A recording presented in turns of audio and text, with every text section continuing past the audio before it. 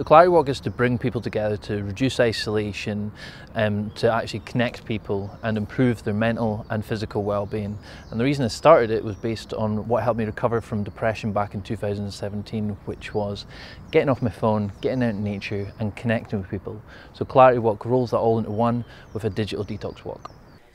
Matt Wallace runs regular Clarity Walks as a way for people to boost their mental health.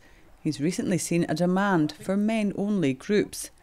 New figures show less than half of men living in rural areas are likely to reach out for support if they're struggling.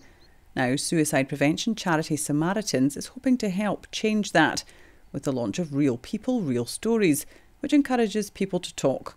I was struggling in my life and I'd been through a difficult relationship. Um, and I was I isolated myself. Well, it was almost a wake up call. I realised that it wasn't going well, and after a few months, that I needed to change things. And uh, by reaching out to actually my sister, um, talking about it, that sort of changed things for me. The campaign supported by NFU Mutual. Are you really fine? And when we ask people that question, do we genuinely mean it, or is it simply an off the cuff question that we just ask as a matter of course? And we need to really, I think, um, address that and be really caring in our uh, inquiries to our friends and neighbours and family members. Are you really okay?